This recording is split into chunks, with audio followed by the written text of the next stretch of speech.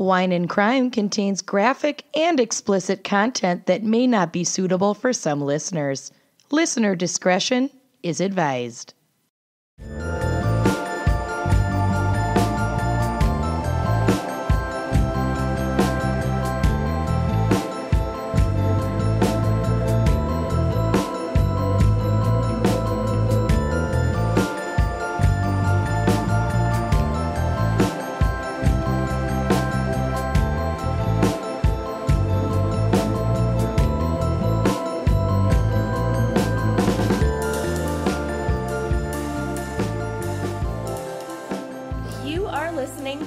Wine and Crime, the podcast where three friends chug wine, chat true crime, and unleash their worst Minnesotan accents. Yeah. I'm mm-hmm. Kenyon. I'm Kenyon. that choking in the corner is Amanda. Mm. I'm Amanda. And I'm Lucy. Uh, Huzzah! I still have shingles. And Amanda, do you want to share with the group your current ailment? I have bird flu. It was because it was because your soothing ocean sounds last time. yes, I'm pretty sure that's precisely where I contracted bird flu. Well, they might be back for this episode because we're again on the oh my high seas. Oh, Dude. that's right. no, I'm not ready to be on the open ocean. This fucking Christ. This week we will be discussing cruise ship disappearances. I don't know why I needed spooky sounds there, but it felt right. Yeah, felt not right. like Bermuda Triangle shit, like No, no, no. people killing their loved ones on a cruise ship. Uh, But that's allegedly. Allegedly. Impossible Allegedly. to prove, as we will find Yeah. out. Yeah. yeah. Exactly. Big time. So, Amanda, what wine pairs with this kind of bizarre topic? Slash, what wine will I be using to wash down my Tamiflu? Exactly. This week's crime pairing is the delicious Vega Sindoa Garnacha Rosé out of Navarra, Spain. you and your Yum. fucking garnachas. I know it's so good. It's unbeatable this grape, and technically this is only my second Garnacha, so let's just relax. Out of seven. I knew I wanted to go with a rosé this week, and this one was actually selected by the lovely Becca Lewis, who was so kind to me this week while I had fucking bird flu. Oh yeah, I thought you were gonna say Um, Matt from Total Wine Bloomington. I did Minnesota. too. no, I wish. Oh my god, still got mad love for you, Matt, but I didn't go to you this week. Um, I know we talked about this grape in the arson episode, so I'm not going to go over all of that again. But let's uh, talk about it for a minute in the context of a rosé. So be- this grape works really well for rosé because um, it produces a low tannin, low acidity, and fruity wine without being too sweet. It's going to have more of a dry finish. Um, it's going to bring out flavors of spice, red fruit, combined with a nice full body on this uh, rosé. It is lively and dynamic on the palate, and that's always nice to pair with food of all varieties. Rosés are particularly good with like fatty fish.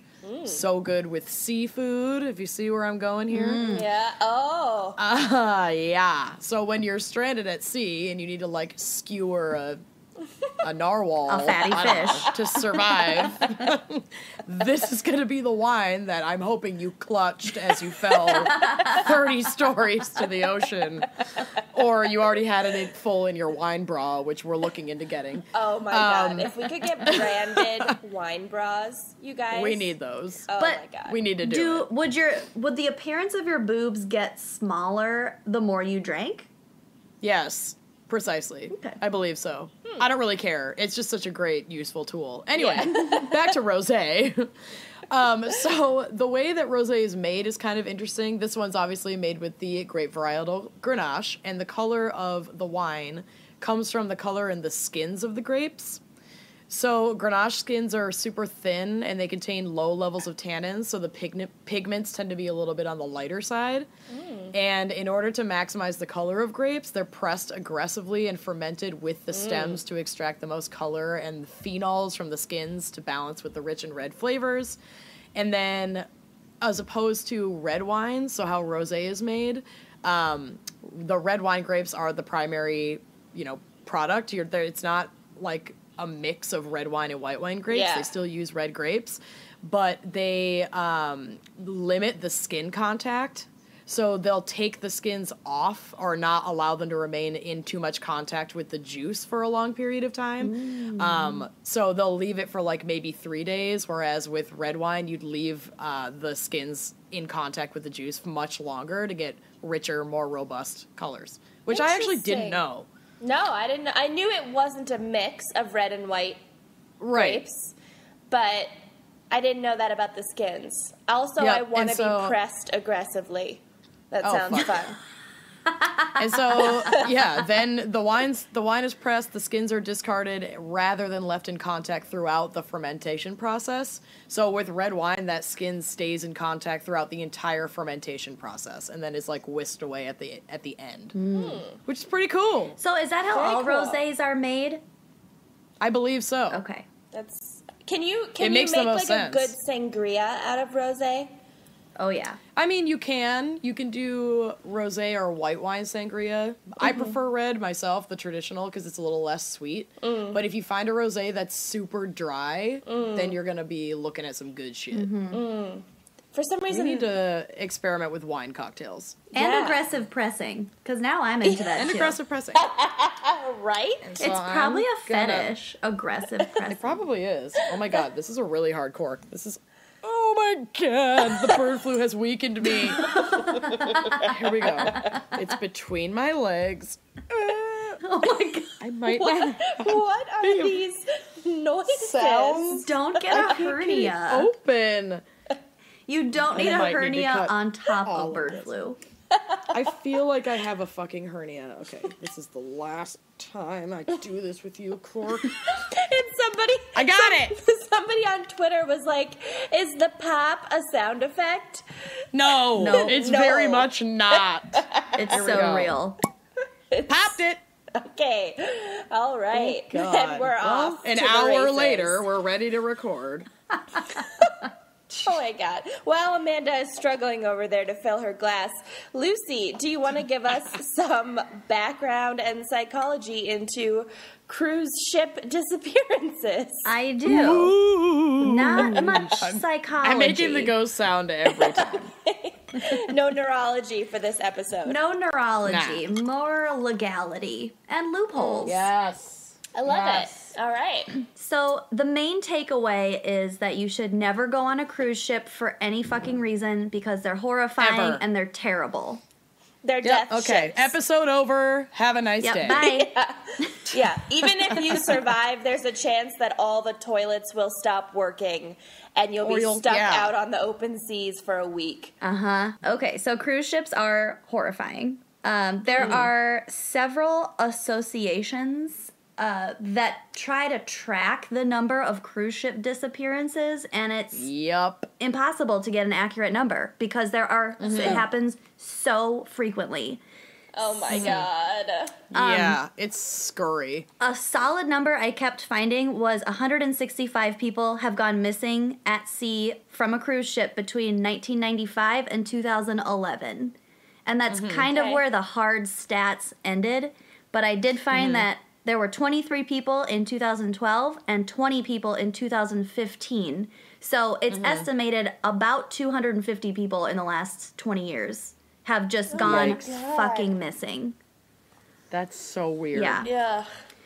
Oh, I mean, yeah. I understand in the grand scheme of things with how many millions of people go on cruises yeah. that it's a low number, but I don't know. That still skeeves me out royally. Yeah. Royal Caribbeanly. uh, Royal Royal Caribbean, which pulled in in second place of the most cruise ship disappearances. oh, congratulations, My- my- Royal Caribbean. Hats off. my, my story is a Royal Caribbean one. I think mine is too. Well, Car- Carnival cruise ships are the king Oh, of cruise ship disappearances. Number one. They also recently failed a CDC inspection. which is Stop. Carnival did? yeah, they don't have like sneeze guards on their salad bar. Everything is buffet style. Like the restaurants are Listen, disgusting. if a supporter wants to pay for the three of us to go on a cruise to do some research, I'm No. not going to say I no. would never. Say I no. would. I would say Just no. saying. I would Well, say no. I'll I would bring like someone a else then. refundable ticket. Yeah. you cannot get Lucy and I will cruise. go. Mm-mm. No. No. To quote my mother. No. No. No. No. Mm-mm. I'm trying to find the. I have a. I have an excerpt from like the actual language from the Carnival. Well, actually, it used to be the Carnival Cruise uh, ticket contract. They must have changed their language because I went on the Carnival Cruise website and looked at their contract lingo, and this Oh is not God. in it anymore. But it used to say Carnival Cruise makes absolutely no guarantee for safe passage, a seaworthy vessel, adequate, adequate and wholesome food, and sanitary and safe living conditions. So, So it you- makes no guarantee of any of those things. Correct. Yeah. Is what it's Yeah. saying. If you enter aboard this vessel, which may or may not be seaworthy, we cannot guarantee fucking shit. So apparently, is incredible. the somebody brought this really unsettling part of their ticket contract to light and their lawyers changed it because it's not the same wording anymore but it's still like Right. we're not fucking responsible for literally anything Yeah. Yeah. Mm-hmm. God damn Uh, it.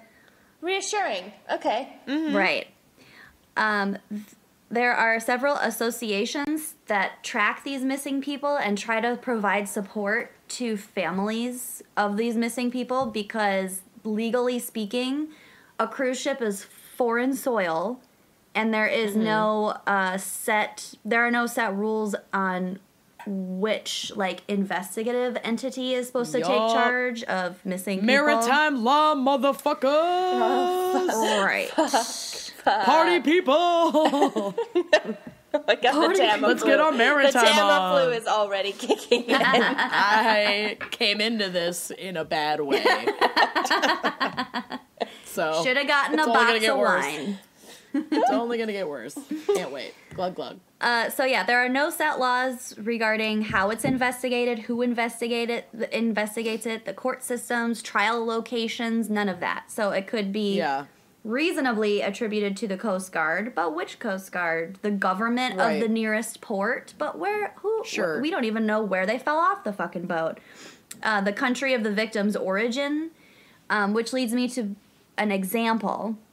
So hmm. this is an example of the jurisdictional cracks we're dealing with. Okay. Okay. A South African man rapes a South African woman on a cruise ship registered in Panama, which, by the way, most cruise ships are registered in either Panama or Liberia because Okay. to avoid. Most like shipping ships. Almost all ships are registered there, yeah. Yeah, but it's because that there's basically no oversight, no rules about labor costs, no. Okay. No regulation. There's really no anything. regulations, and there's no, and there it's super cheap.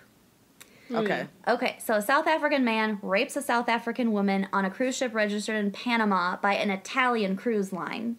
But because the ship is operated by an Italian cruise line and is flagged in Panama, technically only the country of Panama can prosecute crimes, even though it's against a South African woman by a South African man, which Uh-huh. may or may not have occurred in the territorial waters of South Africa.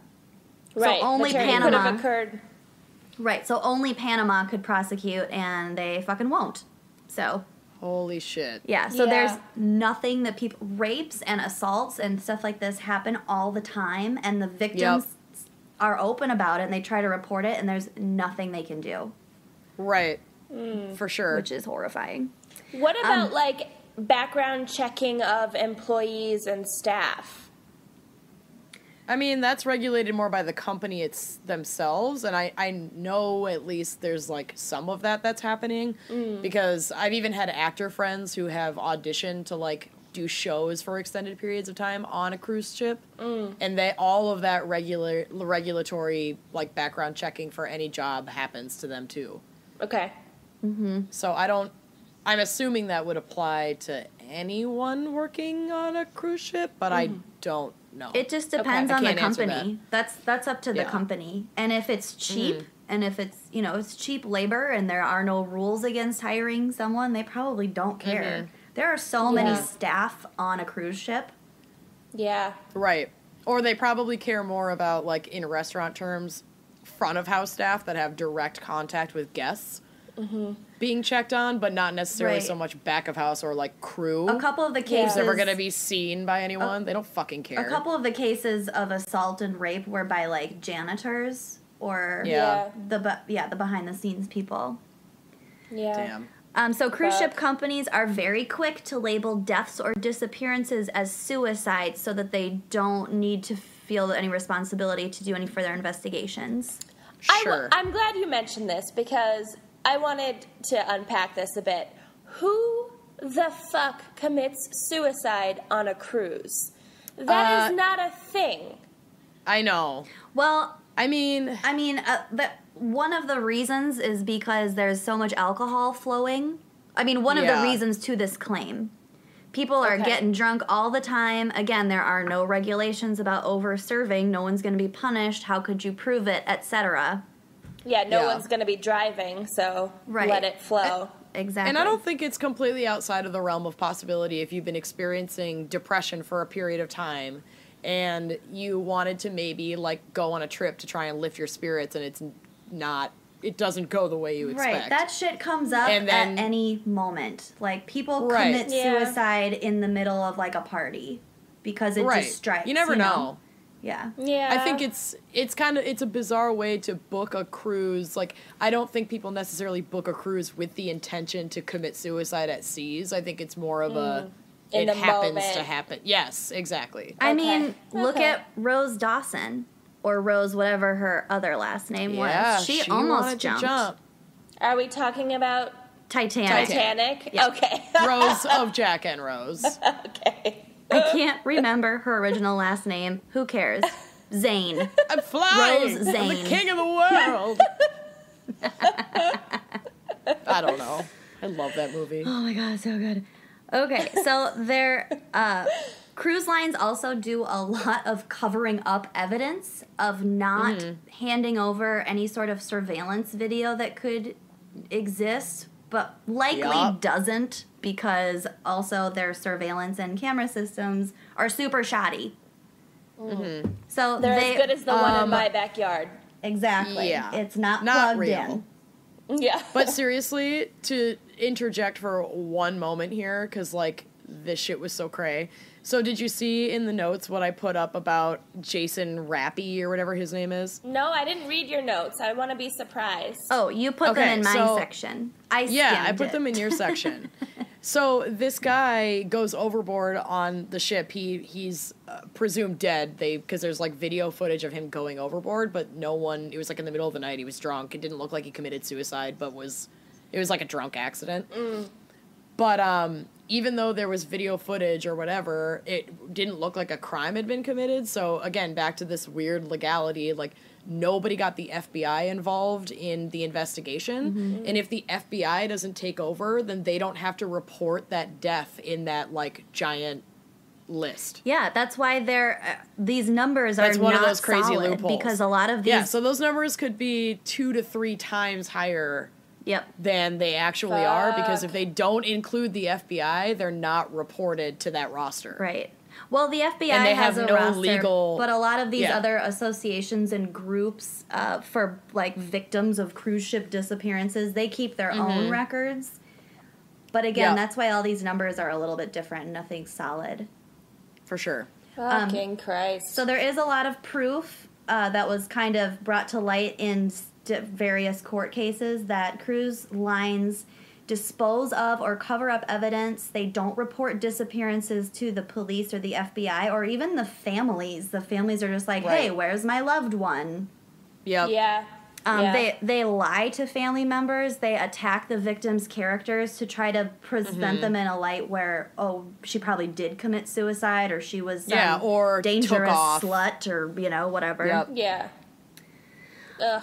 Um, so this kind of ties back to what one of the maritime lawyers websites that I went to because it's an entire industry.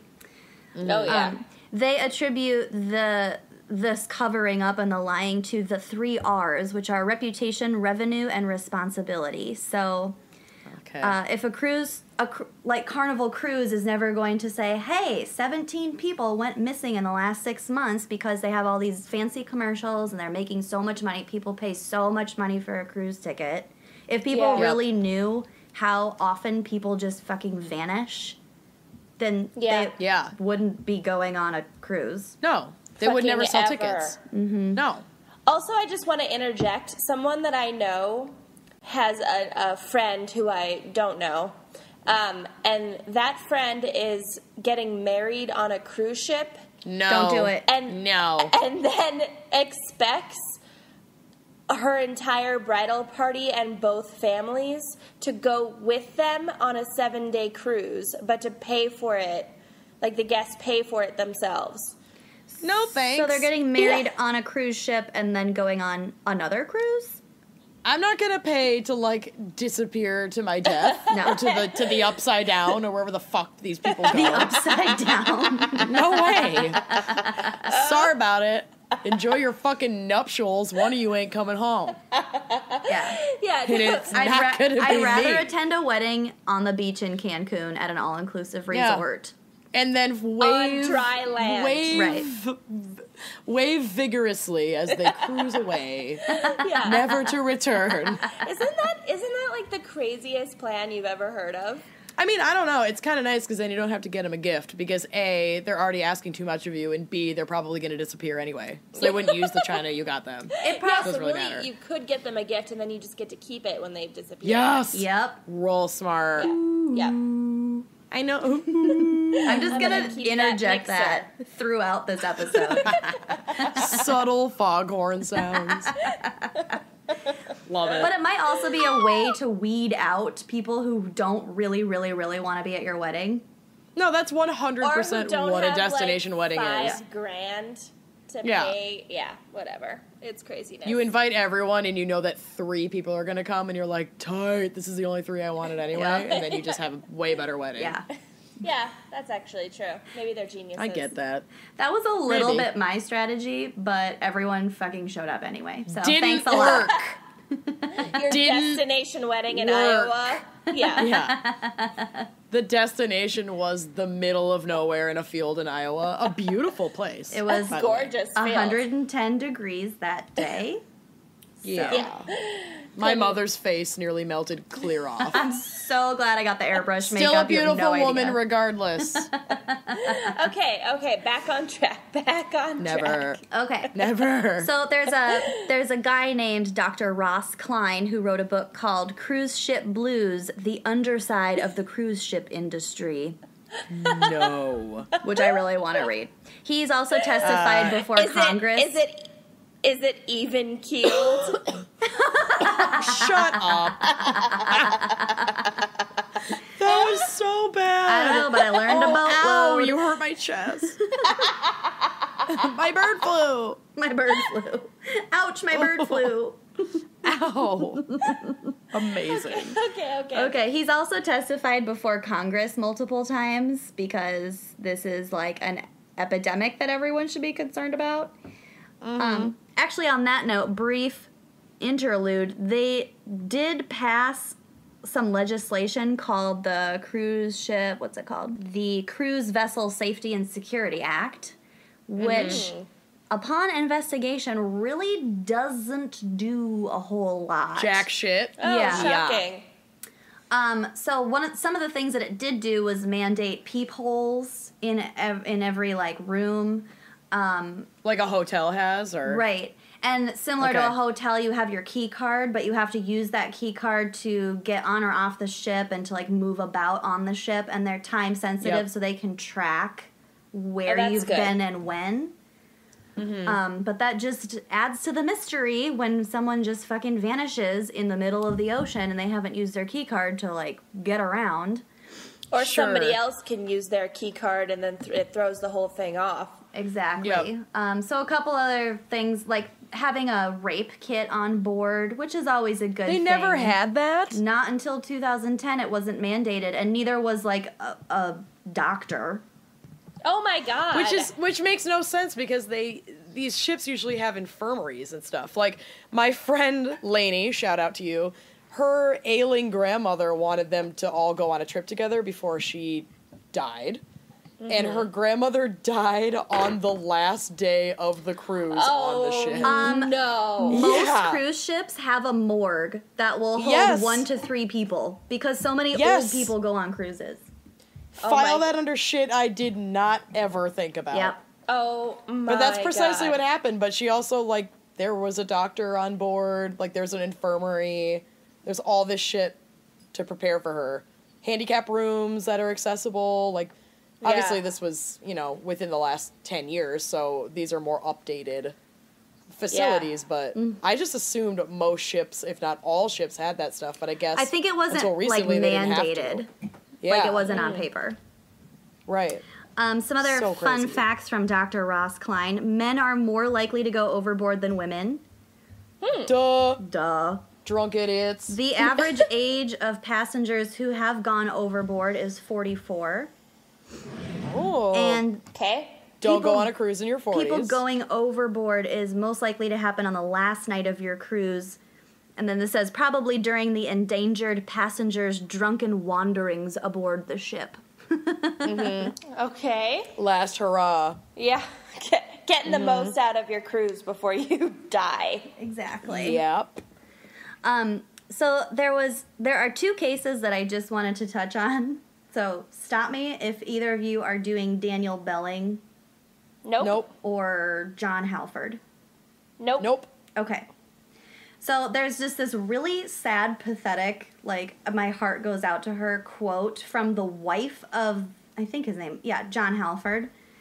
Uh, he had he was on a cruise by himself because Okay. well, I'll just I'll just read you this quote. It kind of sums it up. So this is from his widow, presumably. Okay.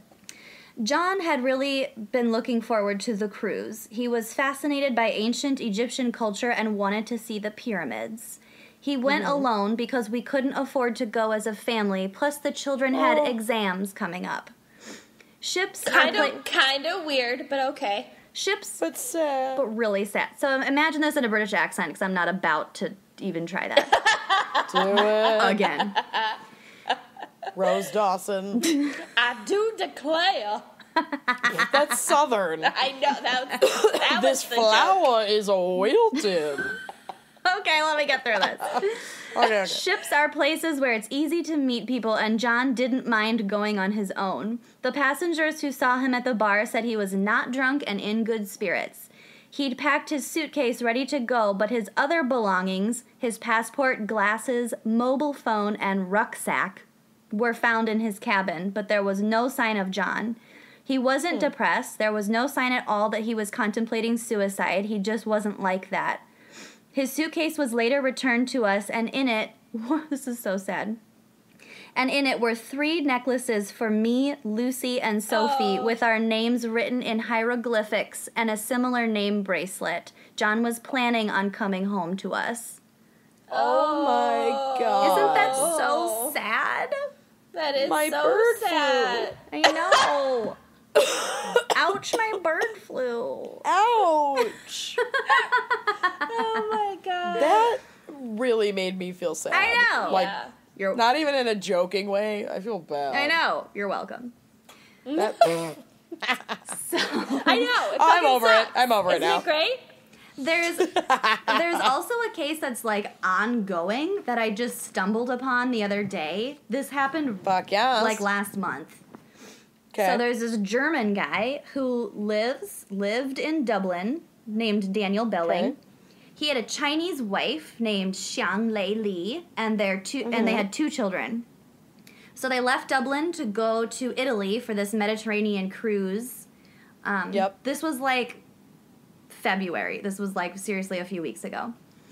oh, wow. Um, they were sailing through the Greek islands. Uh, they left on February 9th. She was not registered at ha- as having gotten off the boat at any time during the 10 day cruise.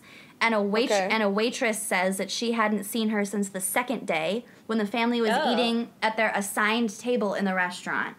So I've never been on a cruise, but apparently you have assigned tables, and the staff should pro- like reasonably know who you are. Right, who you are. Yep. Right. Yeah.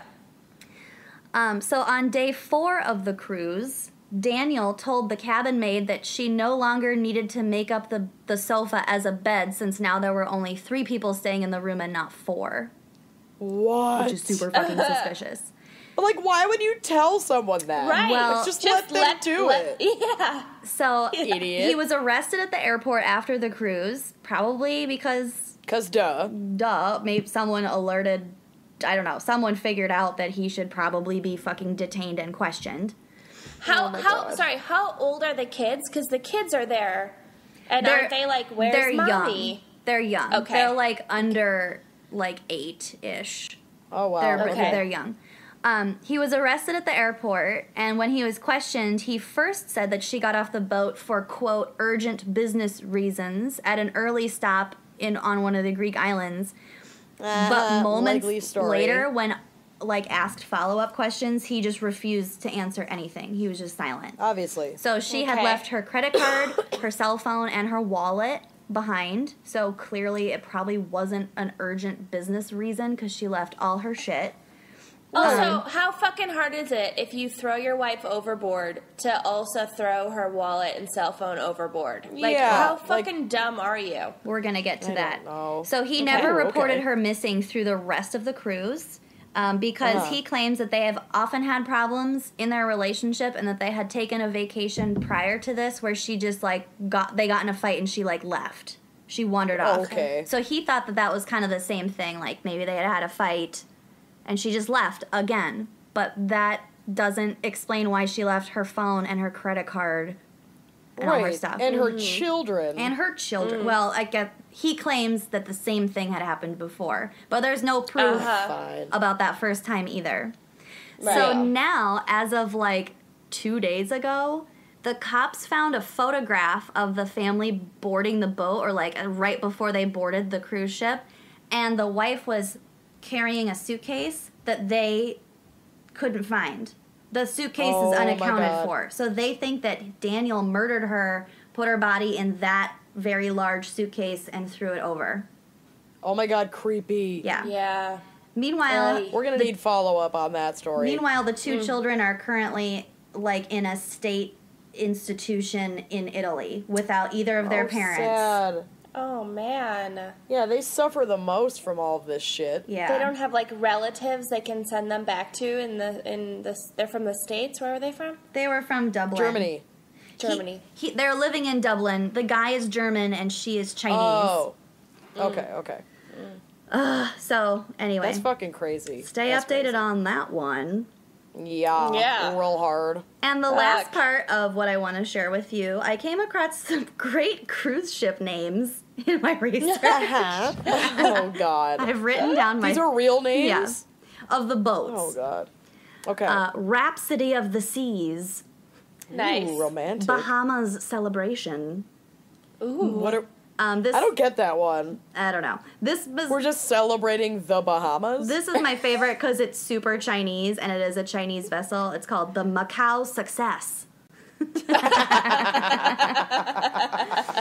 Amazing. and then we I have can just picture the cigarette smell on that ship of a Macau It's junk casino. Oh man. uh, the casino inside. Yeah. Oh lord. uh, Brilliance of the Seas and the Celebrity Okay. Mercury. Ooh, I like Ooh, that one. very 'Cause it's like you're going to space. With like Joan Crawford or something. My mine on my story is pretty good too.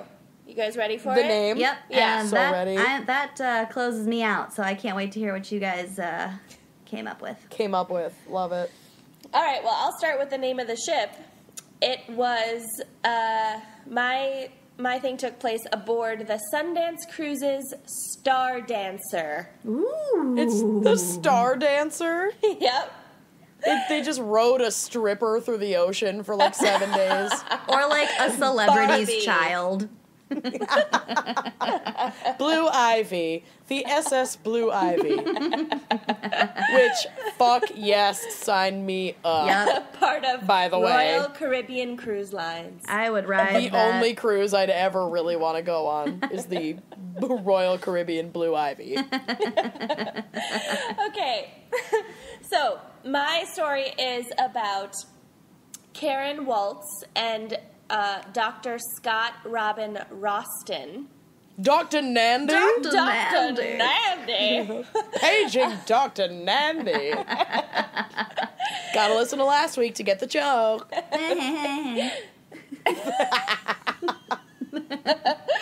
Okay, Oh my so on February 6th, 1988, Karen Waltz, who was 26, married chiropractor Dr. Scott Robin Roston, who was 10 years her senior, in Whoa. a quickie Las Vegas ceremony. Love it already. Yep. In the late 80s, that would have been Yeah. a spectacle. I want to snag me a chiropractor. Move over, Dan. I don't think you want this one for just a multitude of reasons, one of which. Fair being enough. his mustache. Oh no. Yeah. Oh god. There are photos on the blog. Um, Okay. Okay, so after their Quickie Vegas wedding, they immediately left Stop on a seven-day honeymoon quickie. cruise. Quickie. they had a quickie, which led to a quickie wedding, and they Woo. quickly left on a seven-day honeymoon cruise to Mexico aboard the Star Dancer. The SS Quickie. Okay. All right, so it gets classier. The couple met in Florida. She was a physical therapist. Scott had had an injury. Uh, he had fallen down some stairs, and so Karen was treating his injury with a massage. Yeah. As a chiropractor would. Right. Something ironic about a chiropractor needing to see a physical therapist, but anyway. Um, so, this is when things start to take a turn. Around 3 a.m. on the last day of their mm-hmm. week long honeymoon cruise, Oh god. and also a day before Valentine's Day, Scott reported his wife overboard.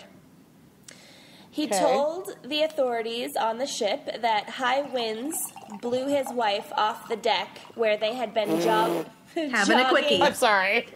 having a quickie. No, jogging along a track on the top deck. At 3 in the he married morning? to a kite? Is he married to a guy? It just took flight. It caught a, caught a gust of wind. I told you to like keep your arms down. her. Don't jog with your arms up holding a sail. At 3 in the morning. Yeah. Bon voyage. She flew away. She's a Maybe flying she had bird flu. squirrel. She's a star oh dancer. She has webbed toes and fingers. okay, okay, okay, okay, okay. So, so yeah, so he told the authorities they'd been jogging. They're both fitness buffs.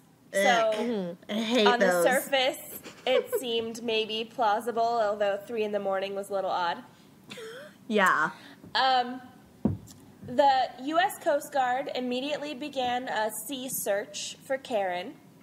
Um, and the police, meanwhile, were uh, investigating Scott's claims.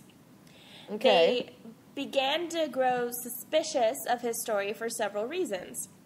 Number one, it wasn't windy at the time. At all. But her webbed Amazing. At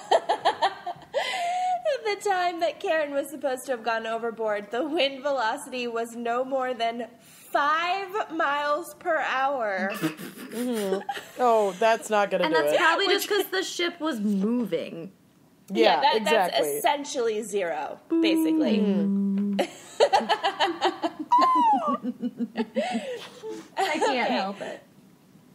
Another reason was that Karen was only uh, five foot three inches tall, and the ship's railing was three foot six inches high. So just like physically, it would have been you can't very- just fall over. Yeah. yeah, yeah, exactly. She Like, would have had to for- have been hoisted up and over, not Yeah, just cruise ships may have very few regulations, but like the height of the rails is at least one of them. Yeah, You can't just trip over the side of a fucking cruise ship. yeah. But you Or can get be blown thrown, over by the wind. Easily thrown.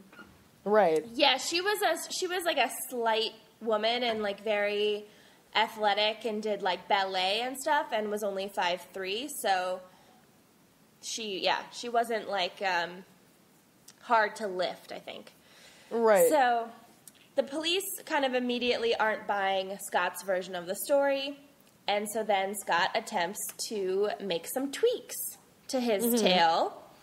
Um, he now says that he uh, hit his head, and we'll get more on the details of this in a little bit, but he says he hit his head and couldn't remember the full event. But the only thing he could remember was that he tried to save Karen as she was going overboard. So he reached out and tried to grab her, but he lost his grip and she fell. You okay? Yeah. Well, okay, maybe I do have a little piece of psychology. I was just talking about Oh. this the other day. That's bullshit because when Yeah. when you're under stress like that and you're in a panic situation, your mind works like 10 times better. Like Okay. you remember every fucking second of the crisis. Huh. yep. So, he didn't forget but also tried to save her. That's not a Yeah. thing. Yeah. Jeez. No, it's like a terrible, it's not even a good lie. No. Here's some more suspicious shit about Scott, the chiropractor. So, Karen's mom had had suspicions about her future son in law, and she was pretty open about her suspicions uh, with Karen. but Aren't all mothers-in-laws mother-in-laws? Suspicious. Well, that's actually why they got married in Vegas without the family there. Is because the oh. Karen's parents didn't like him and were suspicious okay. of him.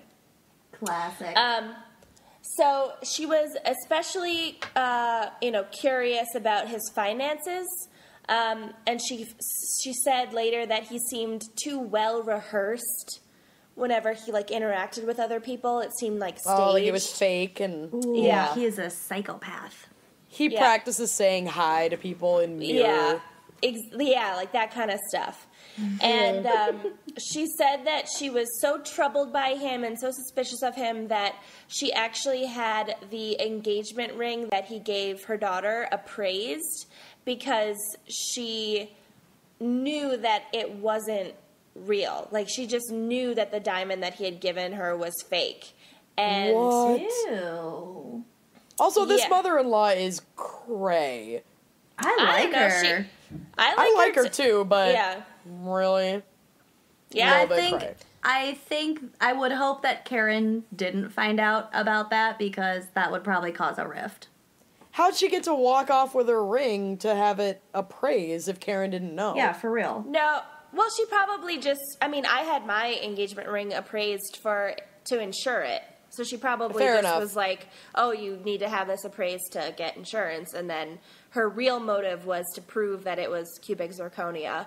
And and one report that I read said that it turned out to be a fake, and then I don't, but I don't know if that's true. I think Amazing. Yeah. Let's assume it is. Mm. Yeah. Because we're not experts and we can't get in trouble for just wanting things to go our way. Don't Yeah, sue there you us. Go. Love it. Don't sue us. We, We have say no that money. every episode. Pretty much. We beg our listeners not to sue us almost every episode, which is I think it's fair. Okay. we're covering our bases. Hold on, there's like so much more to get through. Okay.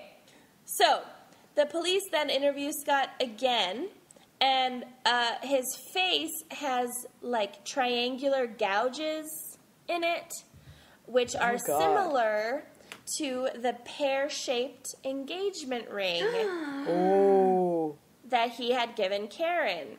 Um, And there was also a four inch scratch across his face. Oh shit. From trying to So- save it's not looking her. good. I'm sure. Yeah. Right. When all the birds attacked him to lift his wife off of the boat and fly her away He, in the wind. he was married to a sheet of paper. He was bound Yes. to get cuts. um, okay, so so they think that Karen probably fought for her life uh, as you know he tried to kill her and throw her overboard. Um, Scott tried to explain away the facial injuries by saying he had hit his head on the gangway control box. However, so that's the head hitting. However, they went and looked at that control box, and there was no blood, no hair, no marks. No on it. It triangular so spikes no poking out of it. yeah, there, there was no sign that anyone had hit themselves on it, and uh, the box also had no sharp edges. It was like rounded. It's So a it- rubber ball. It's a pillow. uh, something's not adding up here. My god! Okay, so This then- guy sucks at lying Yeah, so he, far. Yeah. he really he really sucks at lying because now he changes his story. They come back and they tell him, "All right, you didn't hit your head on this box," and he's Right. like, "Oh, Obviously. right. Actually, these scratches are from quote souvenirs of a particularly energetic newlywed sex." No. No. No. Yeah, It wasn't. Wow. you lie. I don't want to think about this guy getting his dick wet. Yeah. He's just making his mother in law hate him even more. Salt in the Oh, wound. yeah. Don't talk about fucking her dead child. Okay. so there's more there's more suspicious shit from the night of. So, mm-hmm. a passenger who shared a dinner table with the couple. So, I think on a lot of these cruises, I think you kind of have to share a table with like a couple other passengers because Oh yeah. they It's don't have tables for two. seating. Yeah, yeah. Yep. So this passenger had shared the dinner table with them that same evening and stated that Scott had been angry with Karen because she was eating sweets, which is like, oh god. okay, fine, you're a dick. But also, he was mad at her because she didn't know which utensil to use to cut her meat during the meal. And he was Well, really pissed off about that. that makes me mad too. Yeah. Like, why are you eating your soup with a dessert spoon, you piece of human garbage? I'm gonna throw you off a fucking cruise ship first chance I get. she deserved. She deserved It's- it. You deserve far more if you disgrace me in that way. Okay, so How everybody, dare everybody has their triggers, is what we're learning. you? Yeah. Amanda's some, is some more trivial than others. Improper utensil use is very important to me. All right.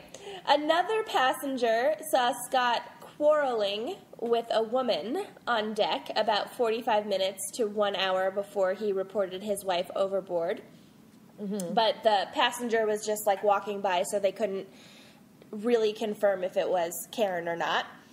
Sure. Um, and then yet another passenger who happened to also be uh, an assistant chief deputy in a sheriff's department, like in his day job, he was just on vacation, um, had gone for a stroll around the same area of the ship where Karen went overboard uh, after she had gone overboard and noticed part of an earring and some hair like stuck on the side of the railing. ew. Bloody hair. Oh Yeah. God. Yeah, I don't know if it was bloody hair. I kind of got to assume it, if you, if it's sti- if it's sticking to the railing on a cruise ship where there's like wind. Yeah, Yeah. but it, there's also moisture, Yeah. so it could be sticking. I don't know. Either way, he found fucking enough hair to catch to catch his eye right. Yeah. Ugh. stuck so, there. So th- that man immediately reported it to ship officials because he's not a fucking moron. right. Okay, so after only a 10 hour search, the Coast Guard patrolling 30 miles southwest of San Diego noticed the tips of white sneakers in the water. and No. yeah, and it was Oh, Karen. that's such a creepy image. I Yeah. know, white sneakers. Oh, that's giving me the fucking creeps. Yeah. Wow. Ugh, That's not great. I So- like it.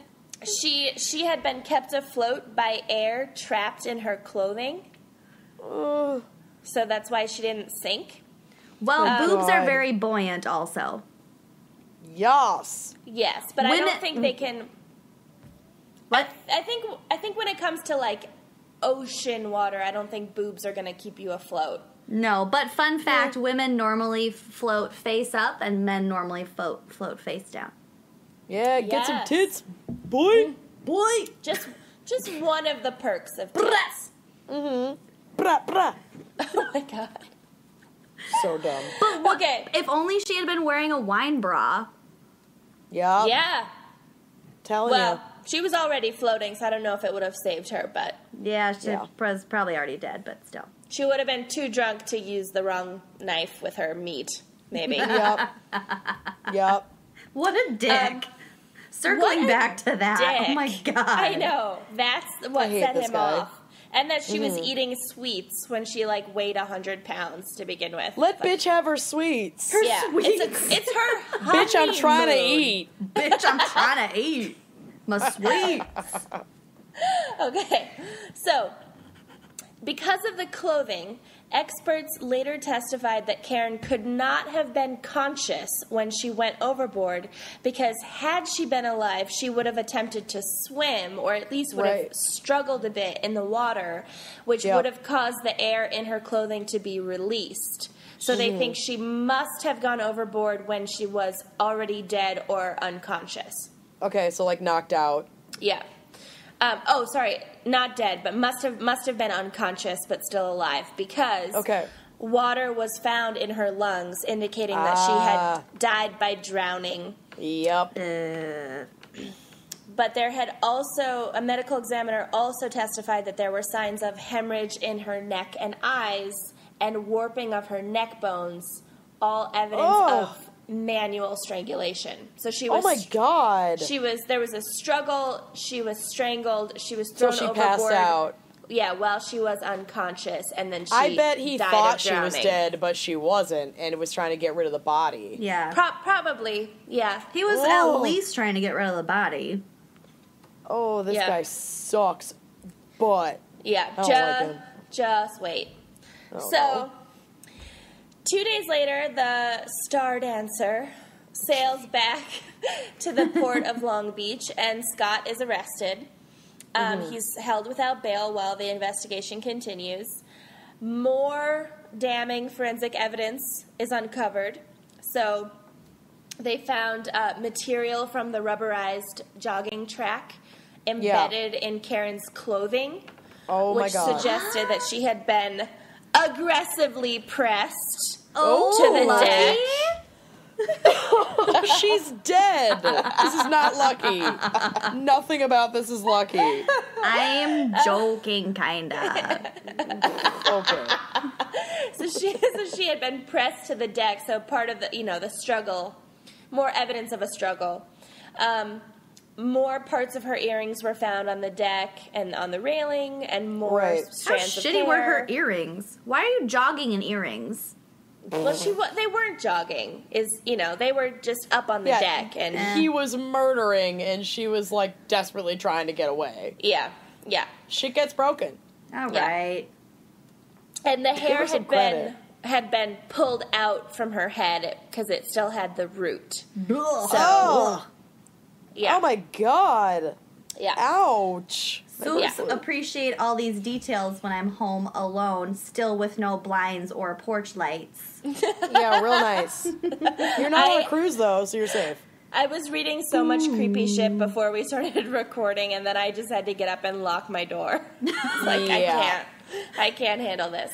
Um, Oh okay, yeah. So Fun fact: the lock on my front door is also currently broken, so I have to lock it Stop. with a Lucy, screwdriver. Lucy. They don't know where they live. Oh my god. It'll be Oh fixed by the time this airs, God willing. Oh no. Fucking Christ. I'm very worried about Lucy's safety, but let's Yeah. just keep going. And then there were two. Yeah.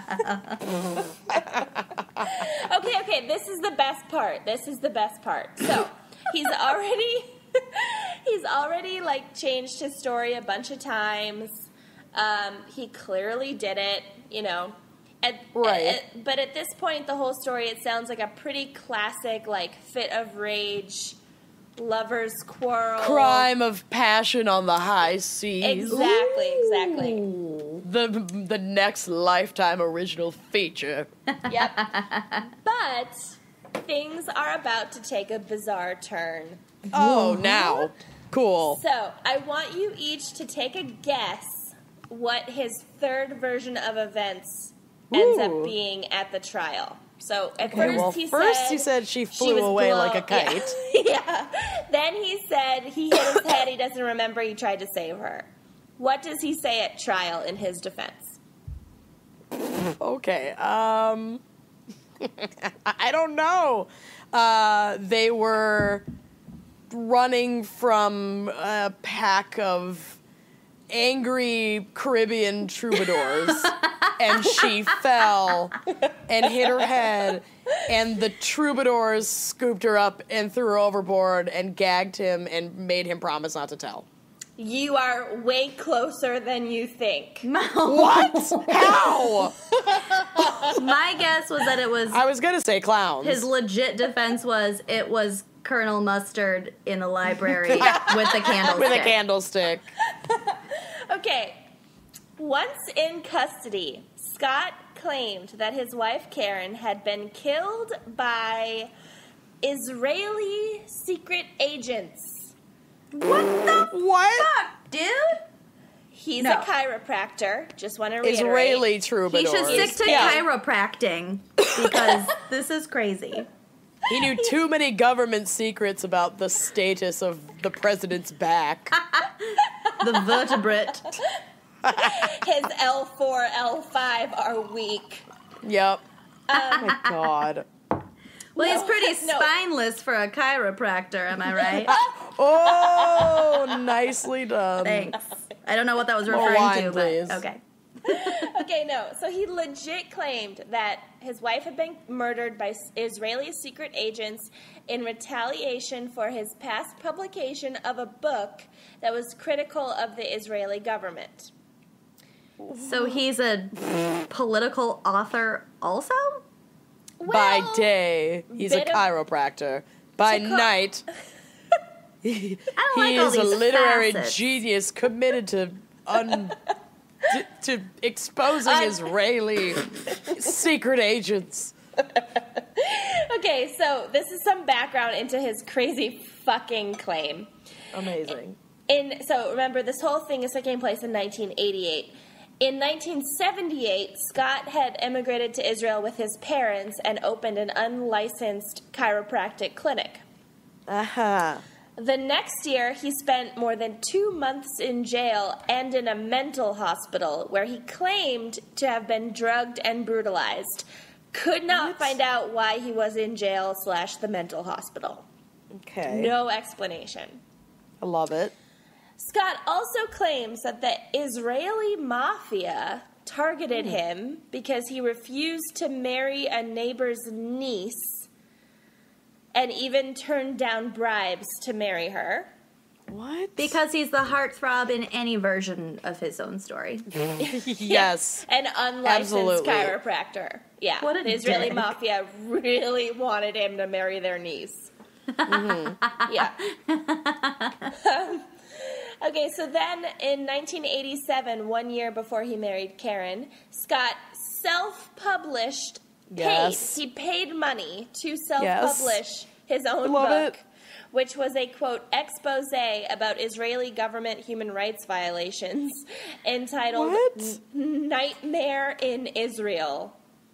This is like uh. the most weirdly, like, not quite fascinating enough subject matter ever. The moment you're self publishing an expose, it's time Yeah. to just stop what you're doing. Walk away, Walk bud. away. Yep. Yep. Right after the book was published, the sheriff's department of Palm Beach, so he had he left Israel and then wrote the book while living in Florida. Okay. Um, So he's living Oh, in of course Palm he lives in Florida. Okay. Of, Oh, yeah. yeah. fucking of course. um, the sheriff's department in Palm Beach gets a report from Scott's parents. They claim that two Israelis in a white van had attempted to kidnap their son outside a shopping mall. And Sc- and this is all from Scott's perspective. There's no there's no video cameras, there's no witnesses. It's all from Scott's testimony. He so said that the whole family is just like a bunch of crazy white people who are super racist against Israelis. Yeah, there's, there's a lot of anti Semitic undertones to his Yeah, whole that's Yeah. all I'm hearing here. well, I, I actually was wondering if it, if they're anti-Semitic or if they're if they're just if they're also Jewish and moved to Israel and then just turned out to be crazies, like this family.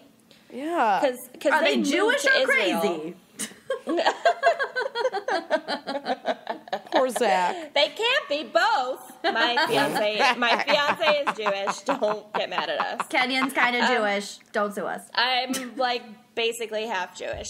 Um, Uh, okay, so Scott said that the two Israelis grabbed him and yelled in Hebrew, "Israel wants you." Okay, sure they do. Because you've been so kind to them over the years.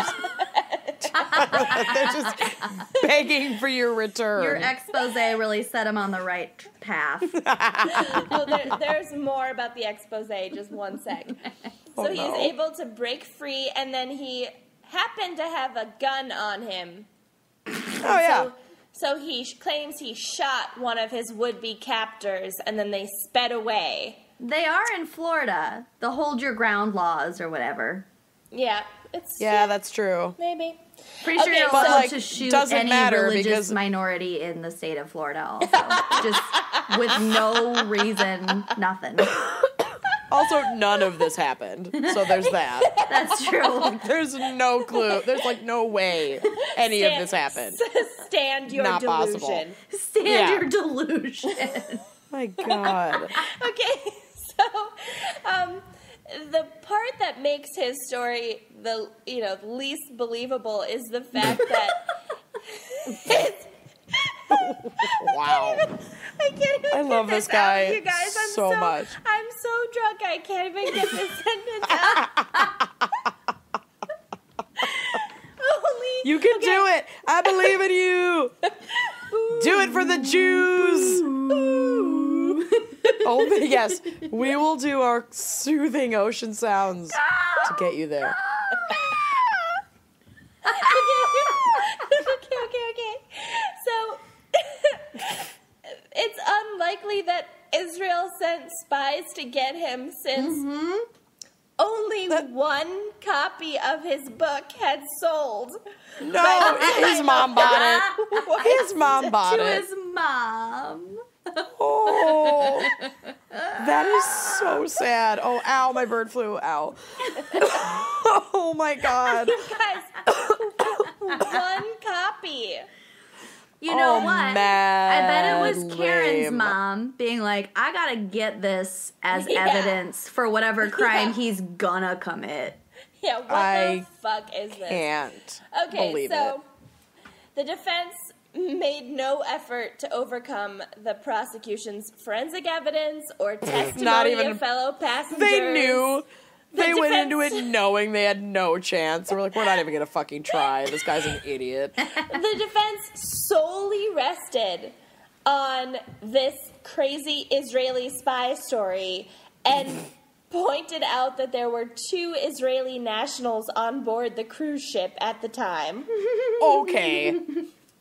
And so then, in rebuttal, the prosecution surprised the defense by bringing to the stand Maurice Haziza, one of the two Israeli passengers, Oh, yes. Good. Yes. who testified that he was not a secret agent. but, He testified that. That's amazing. but in fact, Oh my a God. wedding photographer on oh. vacation. he and his he and his friend had had visited Disneyland and Universal Studios earlier Stop. on their trip. Oh, prove it. Prove it. Show us. Show us your ticket stub. Show us so- the skin infection We're you must have gotten from We're Epcot. literally on the most boring vacation of all time. Okay. No laws broken I'm here. also Okay. picturing Scott's lawyer look, having that look on his face, just like Lorena Bobbitt's ah, Oh, Yes. husband's lawyer. It's like, what the fuck is What my life? How come did I get here? Okay, What What's am I doing? believe This is our best defense. What has Oh, oh what I was Yeah. what attacked by that come to? Israeli wedding photographer. Okay, so I swear I was at Epcot. Not surprisingly, the jury was unimpressed with the espionage defense. They found Roston guilty of second degree murder on the high seas. Oh my god, he was yes.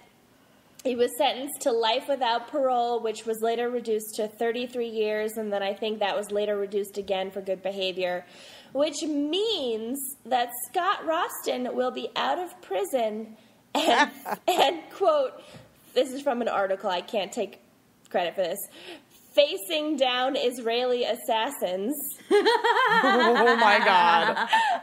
again in 2017. Oh my God. Whoa, Like that's now? tomorrow. He will be released from federal prison on July 8th, 2017. Should we go? Oh. Should we oh, go Should we dressed go- as Israeli Go assassins? to what? Who just His shouts prison. like Hebrew insults at him. yes. Oh my god. No. I know that's super offensive, but like he deserves it. We Let's should stick it to we him. should dress up as spy agents, greet Yeah. him at the prison door, and be like, "You've done good work, son. We're ready for you now. yes. You've earned This your was place." all a test. Seriously, this guy is like murderous Dwight from The Office, like so deep in his delusion. I like him. Beats Bears Israeli spy team. Yes. All right, that's that is my tale. I Wow. yeah. Yeah. I like it. Mm-hmm. I I don't. I have no words for that. So, so still, there's been. So he was convicted of her murder, but like, yep. and they have her body, so she was for sure murdered, but there was no admission. Yep. Like it's Yeah, still he never it's admitted it. Still, still a lot of loose ends. I feel. Yeah. Well, he's fucking crazy. Well, yeah, he's fucking He's crazy, gonna- but like, I don't know. You Well, don't. he's he's been in prison since 1989. Yeah. Oh, Yeah. right, the '80s. Okay. Yeah. Yeah. Don't forget. We should the 80s. totally dress up as Israeli spies. That'd be hilarious. I want to greet him. I want to be welcoming him with open arms. I can find out which federal prison he went to. Do Please it. do. Find his because Facebook we page. have a road trip to plan. I was also Ready your that costumes, ladies. does his g- being released early for good behavior does that mean he like readjusted all of his like pr- prison guards? Like he did some chiropractic work, and they were like, chiropractic they were like, we like you, you- we like you. I I have chronic back pain. Uh, when you find a good chiropractor that you like, I would Yeah. I would let him. I would release him from prison too. That's It- fair. They work miracles. Oh my Hey. god. You gotta Yeah. reward a good thing. Yeah, Cool. he's Love man's it. got skills. All right, Well done. Thank you. Here we go. Take it away. Bird flu. bird flu. so I am going to be discussing the famous case of Amy Bradley. I love this case. Yep. Is she related Who to at- Vera? Oh my god. Okay, No. sorry. that one fell flat. Cut it. I'm drunk.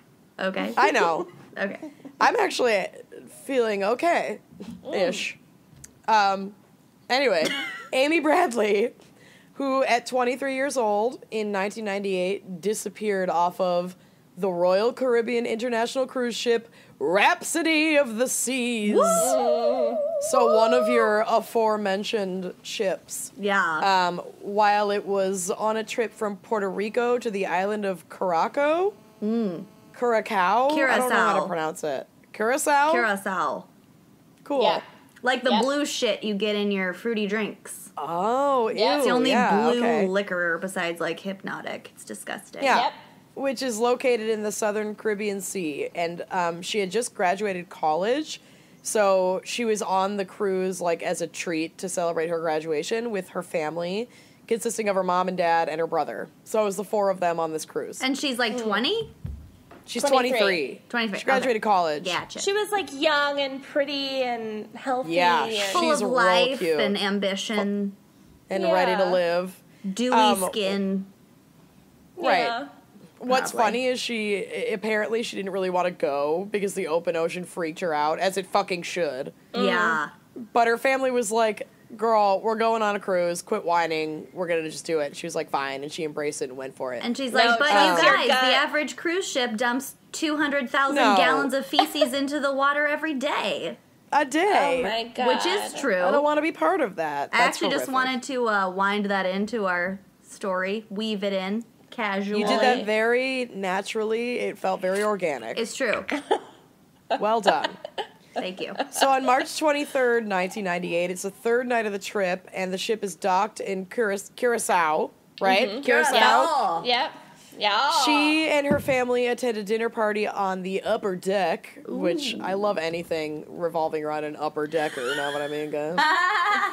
Speaking of poop, Spe- and Everything comes back she, to poop. Let's be honest. I know, right? So she stays out with her brother partying after hours after this party. Naughty um, girl. and didn't return until the family cabin until 3:40 a.m. Woo. And they know At this five- because of the key card thing. Probably not because it was 1998. Yep, never mind. Nope. So they know this because this is like testimony from her brother and her family probably noticed them return to the cabin. The cabins aren't big, so that'd be my guess. And her dad Um, checked his pocket watch and said, "Young lady, it's so late. It's 3:40 and 30 seconds." Why is it a pocket watch? It's 1998. it's probably like a calculator it's watch. 1998. it's, a, it's a totally a calculator watch. It's a he checked his calculator watch, did some quick math. Got out his compass. Anyway, Hey, it's dark. Okay. At 5:30 a.m., Amy wakes up, changes clothes, and steps outside with her cigs and a lighter onto the little like balcony. Um, obviously planning to return shortly because she didn't put on shoes or anything. Um, or but- did she just not care so much because she was going to throw herself over the edge? Well, uh, we don't know. Her family would never see her again. That's it. She vanishes. I'm sorry. oh yeah, so funny. Yeah. Oh har har. God. Yeah, you're evil. so abrupt. Sorry. I know, but disappearances Sorry. usually are Okay. pretty abrupt. So, when Amy fails to return to her cabin, her understandably worried family urges the ship to page her over like the ship's intercom, but they refuse on the grounds that it was too early in the morning to use the loudspeaker. I appreciate that. No. I kind of do too, though. oh my god, you guys are awful. I mean, imagine if you paid for a cruise and then they started announcing shit on the loudspeaker at 4 a.m. And all Because she was doing was like vanished, I'd be like, okay. she was just smoking weed with like the bar back that she met earlier in the night. It's Yeah. like, oh my god, dad, seriously. Funny you should say that. Things sort of go in that direction. Oh. so, Excellent.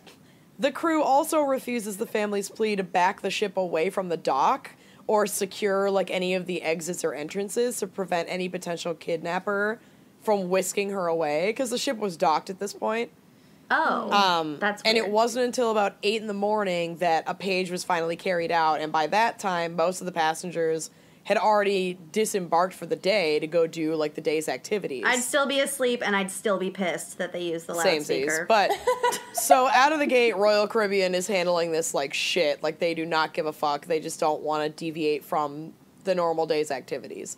Yeah. Finally, the captain orders a thorough search of the ship, scouring all 10 decks and 999 rooms of the massive ship in search of her.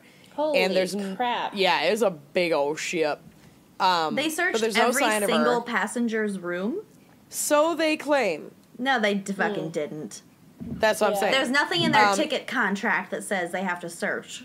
Exactly. So they're looking for her, they're looking for her, they don't find any sign of her. It looks like she's just vanished into thin air. And even then, the captain of the cruise would not post any pictures of Amy or inform the ship's passengers of her disappearance because he felt like the news would upset the other guests. So he straight Yeah. up was like, No, I don't want to ruin other people's vacation. Sorry, your Yeah. kid's gone. What iceberg? Exactly. so we have some we have some theories and weird shit here, um, and things do consistently get weird. The following day, when the FBI, so the FBI is alerted um, within 24 hours of this disappearance, and they inform the family that the cruise security had in fact only done a cursory search of the common areas and restrooms. So they had not done a thorough search of any of the rooms, even though they said they did. She, so she could be in any one of a thousand rooms. A thousand rooms that they didn't even fucking or look into. not on the ship. She could have Or gotten the ship at whisked away by now. Yeah, we have no Right. clue. right. The concerned family uh, returns to the ship and was met with who was described as the ship's risk management agent. But this person actually turned out to be the cruise line's attorney representing the company in any legal action taken by Amy's family against them. So he so lied. he was their enemy, and they Yeah. thought that he was gonna help them. Exactly. Um, the FBI stepped in and engaged in several interviews with this attorney, during which the family was not allowed to be present. Yet the attorney was allowed to attend and did attend all of the family's meetings with the FBI. Fuck. So this attorney wa- had access to like every single bit of information, while at the same time cut off the family from fucking everything. Yep. This So- is how fucking terrible these cruise ships are. Yet It's again, fucked. they're horrifying. Don't ever pay money to go on a cruise. Ever. Right. Ever. Ever. The secrecy. A cruise company wants to sponsor wine and crime. We're open to which case- sponsorships. yeah. we will gladly attend. but anyway, secrecy, We will lack of cooperation. We can't product. argue all inclusive. We just can't. No. it would be stupid of us to. Let's get back on track here because there's a lot more to go. Okay. The secrecy, lack of cooperation, dishonesty, and even hostility shown by the cruise line was extremely discouraging to Amy's family because obviously Right. Yeah. Like, what the fuck? Um, as the investigation continues, several witnesses come forward, and some light was shed upon the events of the evening. She was smoking weed with a bar back, wasn't she? No, Oh. but she was doing some other shit. So, one witness in particular, by the name of Crystal Roberts, claimed to have seen Amy shortly after she left her cabin with a bass player. Always the bass Which- player. Always a bass player. Yeah. It concerns me because Dan is a bass player. Uh, so we're officially never going on a cruise. If I go missing, it was Dan Two of the three of us are in very committed relationships to a bass player. with a bass player. So the bass player's name was Alistair Douglas, but he was known as Yellow. yeah. So bass player Alistair Douglas, he goes by Yellow. He's in a band called The Blue Orchid. And they had been But playing name's at the party that the family was at on the ship. So it was like cruise entertainment. Yeah. Okay. Um, and they'd been playing the party the night before, and other witnesses saw him like flirting with her at the party, and her responding positively to that flirtation, and them hanging out. And video footage from the party shows them slow dancing with each other and appearing to hold hands. so they're clearly Ooh, hitting it off when they hang out. I like it. Um, there are a few strange things about this encounter with Yellow that happened on the morning of Amy's disappearance that seem highly suspicious. Um, it was claimed that after meeting up with him in the early morning hours, Amy was seen going off with him to another area of the ship, but that he returns 10 minutes later alone. Mm. Then Amy's brother Brad said that Yellow had come to their room the morning of the initial search and said he felt bad about his sister and like what happened to her. So he Even knew though- right away. But even though the family and security were the only ones who knew of the disappearance at the time. So he shouldn't have known anything. What But the did. fuck? Nevertheless, What was- authorities could not. What was What? Yellow's story? Like they just hung out and Yeah. went home. He had no story. They hung out and then she went back to her room and he hadn't seen her since. what the fuck? I it was weird.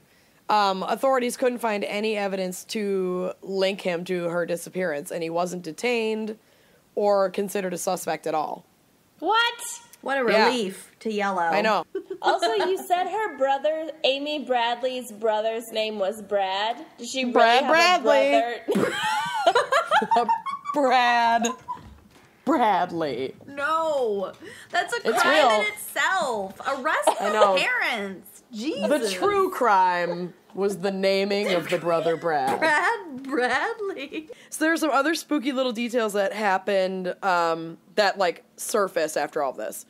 So it was later claimed by the family that at the party on March 23rd, the night before Amy disappears, they had seen a group of individuals who were not passengers come aboard the ship with a dance troupe, which is what inspired my guess earlier, um, and proceed to mill about and sort of observe the party while standing near the ship's railing.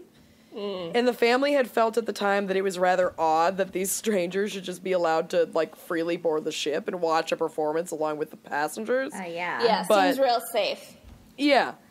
Um, but this seems like kind of a reach to me that a group of mysterious dance like troubadours could get on the ship. But this doesn't include a yellow, right? Yellow is a like Doesn't a include yellow. ship employee. These are no, they they the family claims they saw like some randos just get on the ship, watch the band, sort of like see what was what the haps were at this party and then leave. Yeah.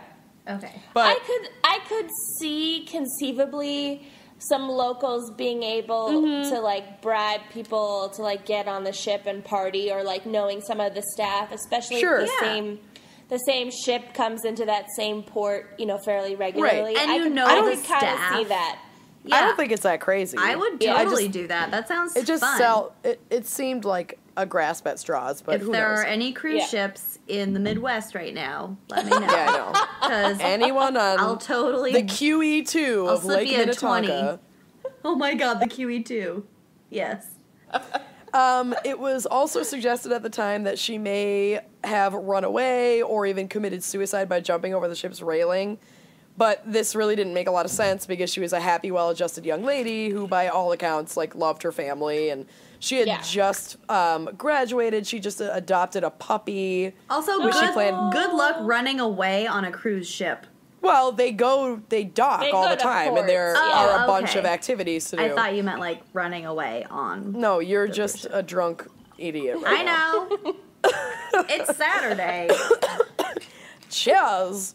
Joe. Um, so yeah, she had adopted a puppy. She was planning to pick it up after the cruise. She had just gotten like a job offer that she was going to start when she got back.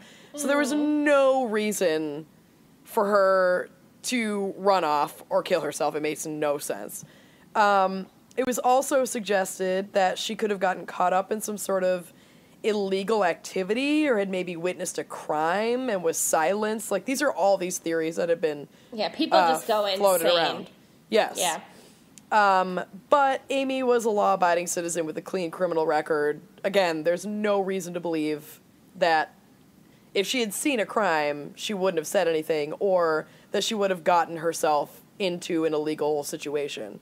Yeah. Uh, Murder is definitely a possibility and would usually assume that this is the most likely situation because I'm just suspicious of all men and Yellow is a fucking weirdo.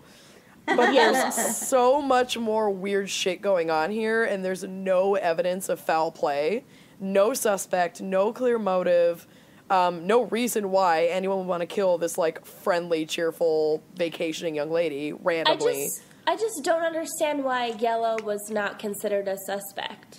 uh, because it wasn't it wasn't like an investigation carried out by police. It, it's I mean it's another Yeah. shoddy like As Yeah. we've addressed, exactly. there is no I- entity responsible for doing the investigation. Like, if, if anything, it relies on the cruise ship line, which, Mm-hmm. as we've discussed, they rely on their reputation and their revenue. So, why Yeah. would Yeah. they? And when Yeah. the FBI Yeah. do get involved, they're not really putting forth like an extraordinary amount of resources because they also know that nobody gives a shit in the grand scheme of things. And what also happens that the cruise line is pretty unlikely to hand over any proof that they do have. Yeah. So, that said, the cruise ship company itself, Royal Caribbean International, officially stated that Amy had merely accidentally fallen over a railing and drowned, perhaps while drunk after the party. Um, but not only is there no evidence of this at all, the sea conditions at the time were relatively calm, so it doesn't really make sense that she wouldn't be found if she had gone overboard. Amy was a lifeguard and a super proficient swimmer. So, Hmm. like, she would have at least tried, which buys at least some time for her to be discovered if she had gone overboard. Yeah. Um, the ship was docked super close to land at the time of her disappearance, so she probably could have swam to land if she couldn't have gotten back on the boat. And that makes it Yeah. even more unlikely that she would drown. I mean, how far possibly could you, if a cruise ship is docked at a port, mm-hmm. like, I would think Yeah. a mile at the absolute most. There's an, even To land. absolutely not even a mile to yeah, land. not even. or to yeah. No, a dock, like, like, even a a mi- hundred yards, a maybe. mile, and this goes for well, I guess the other Kenyon's case didn't happen when they were docked, but Yep.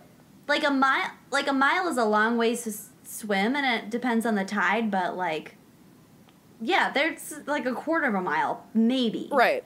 And like we talked about before, the railings on these ships are designed so that thousands of passengers on board can't just go stumbling over them to their death. Right. Yeah. So they're at least three and a half feet high and hard to like accidentally fall over even when you're drunk. Right. It's Yeah. just not a thing that makes sense.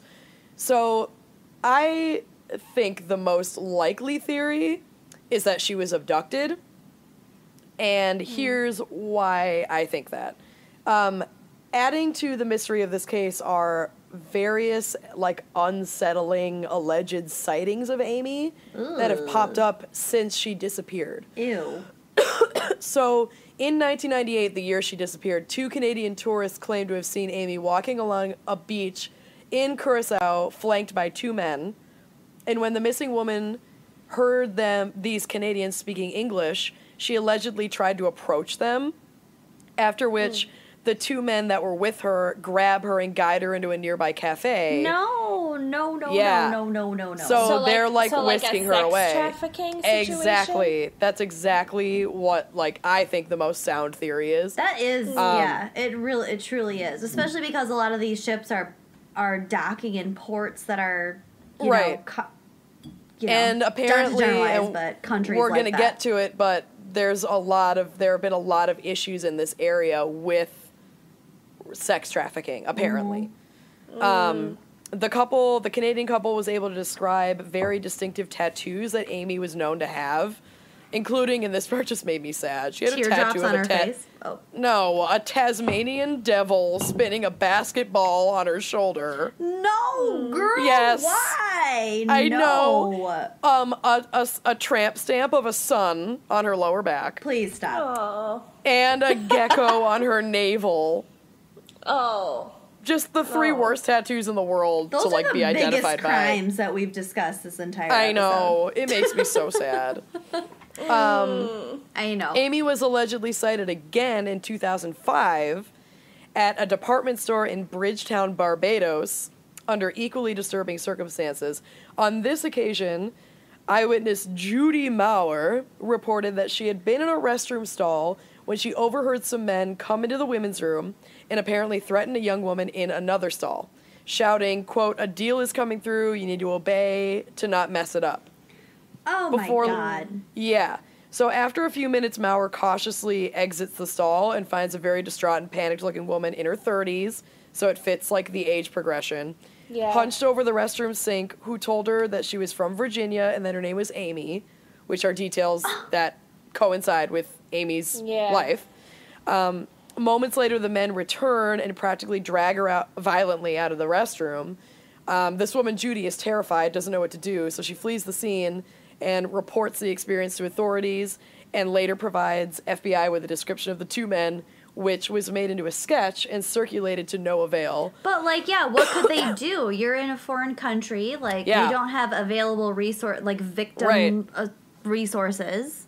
and a lot of these places like barbados the caribbean there are a lot of issues with sex, sex trafficking because there's so much tourism there Yeah, but there's like a lot of corruption and just Yeah. like lack of government in the native areas Yeah. and these people can make so much money off of tourists by basically like operating brothels and things like that and drugs The, the, the It's only r- thing super I will sad. say, the only thing I will say, and, and it's not to disprove this theory, Mm. but it's just that the whole like based on the movie Taken, idea Right. of sex trafficking is like r- r- so rare as to be, Right. You know, just Hollywood fake. So- you so- know, the the vast, vast, vast majority of sex trafficking victims are like people born in poverty Totally. with no options. You know, it's not it's not upper middle class white girls on cruises with their families Mm-hmm. because people are they want to take people that no one's looking for. Yeah, it's just so much easier. There are enough vulnerable people out there to prey on that they Sure. don't need to take that kind of risk. But would it be fair to say that people, well, women, let's be honest, um, like Natalee Holloway or like this woman, because they're born from like white, affluent American Mm-hmm. families, would they fetch a higher price? Oh, for sure. But it's just it's It's just rare. It's not common, is what you're saying. Very, very, very rare. Yeah. Yeah. Which is not to say that that isn't what happened. I mean, again, it's just a theory that, uh, Yeah. and there's again, there's more. So th- all this stuff that I read into is kind of what makes me think. Like, I wonder if this is what happened. Yeah. Um, there's more evidence that comes in the form of online photos that were found in 2004 and 2005 on a prostitution website of Okay. a mostly naked woman in sexually suggestive poses who highly resembled Amy and seemed to suggest that she'd been sold into some sort of sexual slavery. Um, another witness report from 1999 apparently like further supported this possibility by claiming to have sighted the missing girl um, at a brothel in Curacao. So I actually have Shit. on the drive pictures of Amy and that picture of uh, the picture that was circulating that looks like Amy, and Yeah. like it really does look like Amy, like a slightly older, like gussied up. I mean, like painted on. It's it's pretty creepy. Well, But, the, uh, the simple fact that no authority can go down there and, and save this woman Right. is the most atrocious part of this entire Exactly. episode. Like, there's so many conflicting, you know, national government rules or whatever. We can't do anything about it. We Mm-hmm. Yeah, could know and- for a fact that she was down there in Curacao being sold as a sex slave, and we couldn't do anything about it. Right. And that brings us to this next portion where they're talking about how um, this is like a super dark possibility, but it's not super far fetched because the Caribbean has become rather notorious for human trafficking. Yeah. Um, and it there's this uh, super sad statement from um, this gentleman Steve Reeves, the editor of a cruise line trade publication, that said, "quote There's rumor and legend surrounding slavery in the Southern Caribbean. It's not uncommon knowledge in the maritime community that young white women are considered to be very desirable to foreign procurers." So somebody Yeah. may have taken the risk of of kidnapping her. Like Kenyon said, it's not common, but Right. if someone's ballsy enough to do it, it this could happen. Yeah, time- because if, if the opportunity arose, yeah. Exactly. If she's drunk, it's three in the morning. You know, shit. Maybe she did fall off the ship. Maybe she did make it to shore to be greeted by like not very helpful people. Mm-hmm. And none Could of be those things are number of things. reported. And then tying Nope. back to the fact, like that we don't really know how well vetted the actual employees of these cruise ships Right. are. Right, And maybe someone are there from was in all on of it. these countries, like they're from everywhere. Sure. And we Yeah. don't. We don't. You know. n- We don't know if Not the, that you the should ever be, like, could have- afraid of could your- have yeah. bound and gagged her and just like pieced out from his job, but also left with a person. it's certainly it's possible. So, despite intensive investigation, I mean, at least as intensive as cruise ship disappearance investigation can Which get, with is the FBI, minimal. heavy publicity in the media, including the shows America's Most Wanted, Vanished, and Dr. Phil, but not Dr. Nandy. So I God damn it, Dr. Nandy! Where's Nandy? Well, we want. Nandy.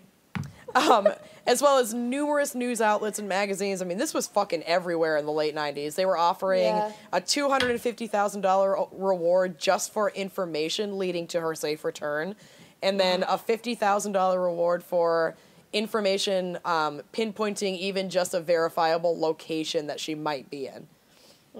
So like people were really trying to make her to get her home. Um, but the case of the disappearance of Amy Lynn Bradley still remains unsolved, and there's shockingly little evidence, very few leads, like jack shit. Yeah. Well, I think So as I far as know. evidence goes, there's actually a sounds like there's quite a bit of evidence, but there's But nothing it's we all can fucking do about circumstantial. It. No, it's but all like unverifiable too. Right. Yeah, eyewitness sightings. I mean, especially years after the fact, Yeah. by by people who didn't know her in the first place, by people Exactly. who just saw her picture. Like Doesn't count as evidence. no, Not really. Yeah. Yeah, It's all circumstantial evidence. She, I she also could have she could have died that night. You know, like we Yep. don't know. and just yeah, she went overboard. Say three, four in the morning. No one's really around to pay attention, Yeah. and she just floated off, and they didn't. You know, but the boat was docked is the thing that makes it Yeah. like I keep forgetting that like That's they the weren't most- out to sea; they were in a port. That's the most Yeah. compelling piece of this, I feel. It is. It is a really compelling piece of it. Like, there's Yeah. why if you're in a port, how could you not find a body? Mm-hmm. Like, where's her fucking body? She was Yeah, taken. I mean, I mean, there are still tides in the port, but Sure. you would think It's just so much yeah. less likely. Right. But not- if they were yeah. able to find if they were able to find Karen while Yeah. the ship was still sailing. Then o- how could they not find? hours. Yeah, I don't know. Yeah.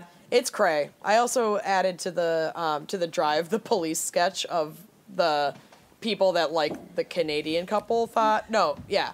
Please saw, tell me maybe it the was lady in better the than the bathroom. poopers. Dude, The poopers why that fell are through the police ceiling. Not why are really. police sketches always so bad? so bad? Like Look these at look sketches. like insane cartoons. Oh Are my you seeing god. the guy all with of- the mullet, with like the Elvis mullet? Dude, I Hold can't tell where like his pencil thin mustache begins and his lip. I don't think get that's it. I think that's an attempt at shading. I don't think No. that that's. I It's don't a that mustache. No, I think I'm an zooming in at on it. shading. My God. I It's am real trying to find our folder. So Hold on. please hold on to any photos of me so that no one ever has to do a police sketch of my face because it's not going to be good. Just makes me the thought of it makes me really sad. I love I love like the attempt at at showing the eyes behind Yeah. the sunglasses. I know. Yeah. Wait, I also I'm love the guy with, like, it. The tiny sunglasses, the like half moon sunglasses. On like the tip of his nose. And why is there so much space between his nose and his top lip on that guy? There's like a mile of empty space between the tip of his nose Yeah. and the top lip. I could cannot land a draw at plane all, there. and I could. I feel like I could do better than these. Same. I feel like I may have drawn these. like these look like something I would draw and be like roll proud of for how good they were. All right. Okay. Are we? are we ready for special thanks this week? Yes. Yeah, uh, one thing I want to shout out before we Okay. give all of our special thanks. Got to give a shout out to Kelly and Naj of the Pantsless Beer Review. Oh yeah. Ditched their beer for a an episode of their YouTube show and instead listened to an episode of Wine and Crime and drank an entire box of wine between Yeah. the two of them and recorded themselves doing it. So, if you want to watch interactive drunkenness from two really fucking funny gals who know a shit ton about beer, check out Pantsless Beer Review. It is online on YouTube. They have a Facebook page. They're fucking awesome. Look it up. Okay, so first we have Kylie Foss, who is a fellow Minneapolis lady. Shout out. Uh, then we have Erin Sylvester, who uh, is also a Minnesota chick. I think she is friends with Amanda. Um, okay, so then we have Joseph Kerouic, uh, aka Mortal Garbage. And then we have Allie Berninger, Berninger. I don't know how to say your last name, but thank you. Uh, and we have Corey Lynn Edwards. Thank you so much. And then in a whole new category, we have uh, some $10 a month Patreon supporters, which means that these two lovely ladies will be getting some surprise merchandise in the mail uh, from the Wine and Crime Gals once we, you know, have merch. Uh, so those two ladies are Erica Healy, Heil, I don't know how to say your name, and Hillary Holt. So thank you both so much. And last but not least, because March is Trypod Month, uh, we have a podcast recommendation for you guys. And that podcast is called And That's Why We Drink. Um, this podcast, if you like us, you're going to like them. It is a combination of paranormal stories and true crime stories by two funny feminist ladies. Uh, so definitely check them We out. love you. We'll see you next week. Thank you so much. Bye. Love you. Thanks for listening to Wine and Crime. Our cover art is by Kali Yip. Music by Phil Young and Corey Wendell. Sound mixing by Dan Larson. Check out our website and blog at wineandcrimepodcast.com. You can also follow us on Facebook, Twitter, and Instagram at Wine and Crime Pod.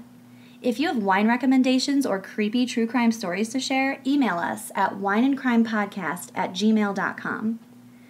All Wine and Crime episodes are available on iTunes, SoundCloud, and Google Play, plus a number of other podcasting apps. If we're not on your preferred app yet, let us know and we'll work to make sure you get your wine and crime fix ASAP. Most importantly, if you like the show, please rate, review, and subscribe on iTunes. It really is the best way to spread the word. Support for Wine and Crime comes from us. At the moment, we're footing most of the bill, but we ain't too proud to beg, so we're also on Patreon. If you'd like to support us and get a shout out on air, visit our Patreon page to keep this podcast and the wine flowing.